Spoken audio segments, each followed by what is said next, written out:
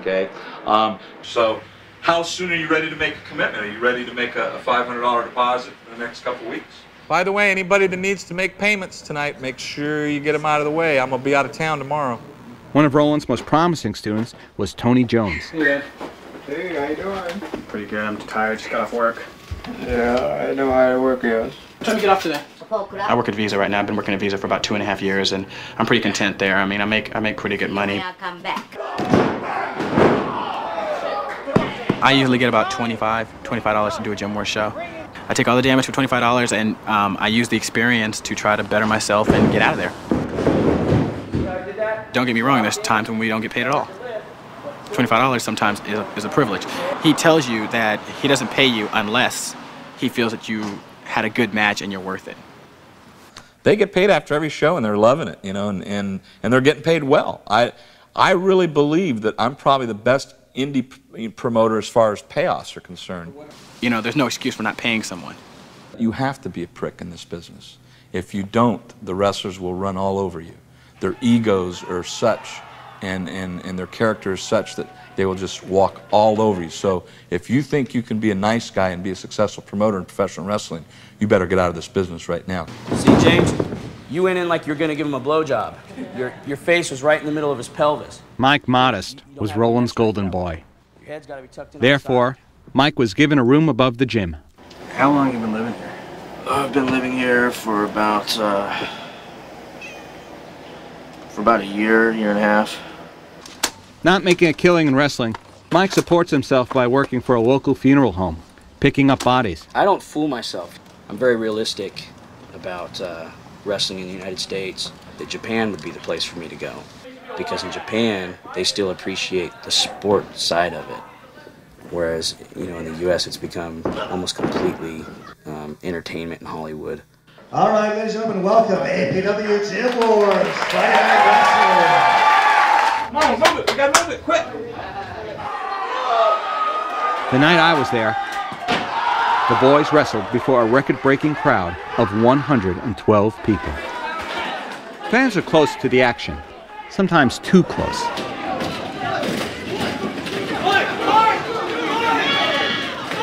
Like this guy in the uh, green shirt who spat on a wrestler.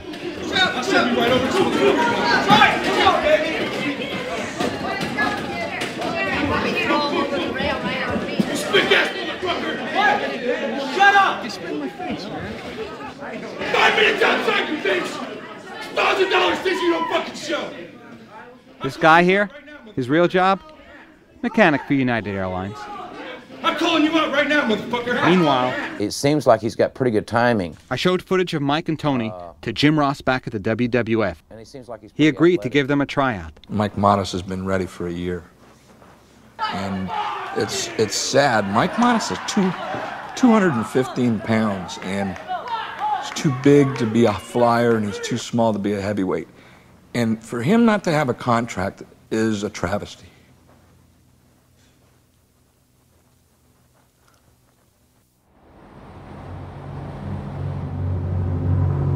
Tony, Mike, and Roland's big day had come.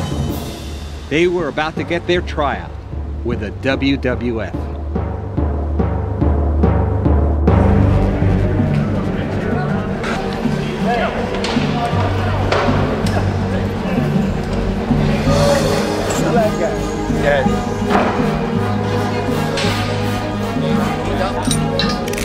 Can tip it up.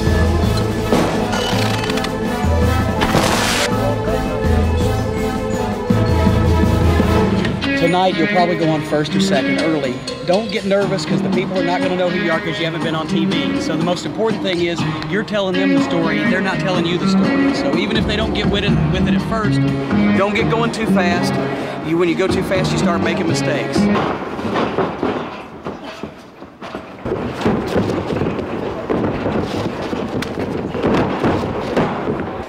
The ring's bigger, the ropes Are looser. are looser. I can't pounce off the ropes like I usually do. I gotta work it more. It's kind of an amazing uh, sight. You know, I, you know, I, I, when I first walked in today, I said, Jesus, God, this is so big and so complex. And hope APW never gets to that point. I, I always just picture myself just being content with a small regional promotion in Northern California. But who knows? You know, who knows if what will happen to APW? But you know, it's kind of an amazing sight.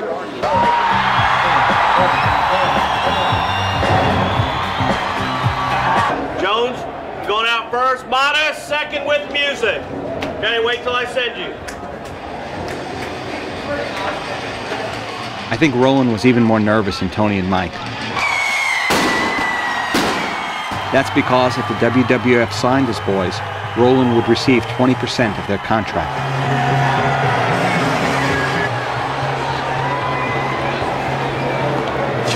What do you guys think so far? I think he's doing good. Both of them. Oh, first time I've seen Tony in person. That's a nice bridge. Nice wrestling move for a change. Yeah. I've never seen Tony either. I've seen Michael's. Modest, Modest is pretty solid. Jesus Christ, I think maybe we need a little work there. you know?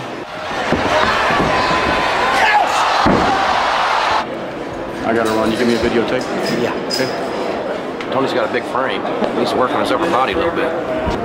The people are not crucifying him even though they don't know him, which is Well, they- good. Because I I told him that always throws guys off. They're giving us what they got. That's all you can ask. Wonder how old uh, Tony is. What is it? Oh my God! I've never seen that one before. I have never seen that before. That's pretty spectacular. Jesus Christ! Stealing it. Huh? You gonna steal it? Right. Move. Well, I like the effort. Yeah. Yeah, I love the effort.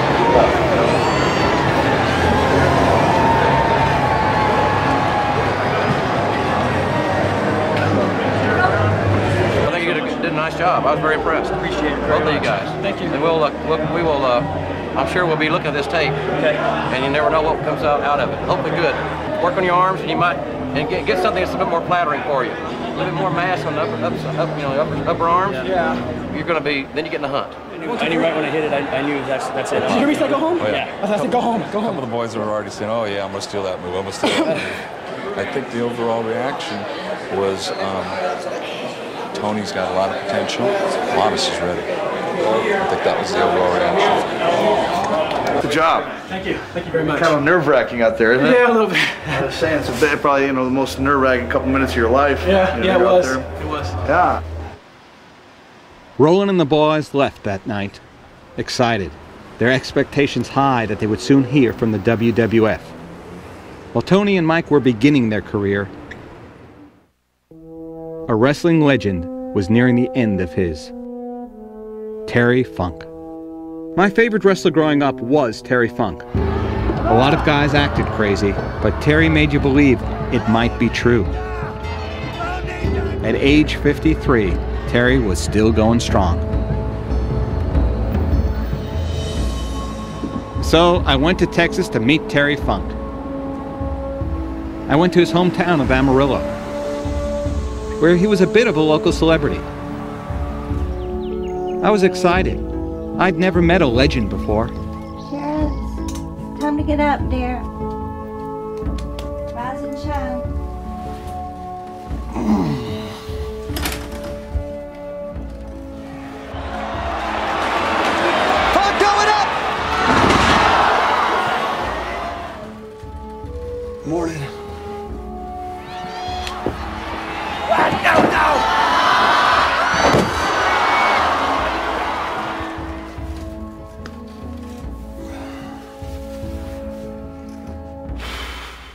Terry Funk with a message for women. Your high country Chevy dealers are so caring. They love nothing more than to shine a happy faces during summer closeout.